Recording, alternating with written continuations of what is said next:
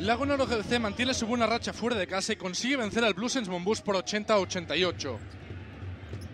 El encuentro arrancaba con un mate del mejor jugador del encuentro, Stefan Lasme. Se fue a los 26 puntos, 14 rebotes y 37 de valoración.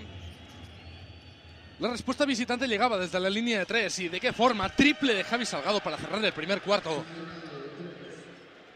Sin embargo, los de Moncho Fernández seguían dominando en el marcador.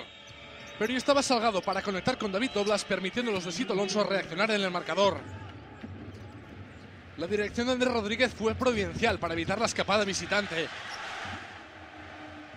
El puertorriqueño cuajó un magnífico partido con 10 puntos y 5 asistencias. Pese al empeño gallego, el conjunto de Sito Alonso consiguió llegar por delante del descanso 37-41 con acciones espectaculares como este pase de Javi Salgado para canasta de Andy Oguide.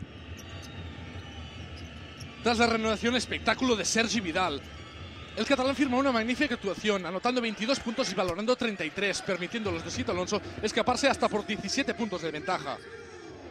Los locales necesitaban reaccionar, y de qué forma lo hicieron, tirando de coraje, de garra y de muchísima casta. Los de Moncho Fernández llegaron a colocarse incluso a tres puntos, pero sin embargo, la aparición estelar de Andy Panco acabó sentenciando el triunfo para el conjunto donostiarra. El norteamericano había llegado al descanso con 3 puntos y menos 5 de valoración y acabó anotando 19. Los de Sito Alonso se mantienen en su buen momento de forma, consiguiendo su quinto triunfo consecutivo como visitante.